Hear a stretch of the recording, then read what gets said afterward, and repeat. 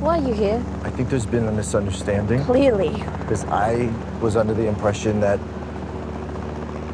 you did want me here. That's a delusional thought. We haven't spoken in a year. I'm happy for you. This whole director thing looks good on you. Even the gardening hat, somehow. Everyone wears them. It's like a set thing. Okay? Yeah, I see it. It's they're not making it look as good as you are. That's all. And I'm not trying to be flat. I'm just saying the facts. But you look good in everything. You look good in nothing. Whatever. No, I don't mean it like that. But This you do look good in nothing. This isn't. This isn't gonna mean, work. you do, but it's not what I'm.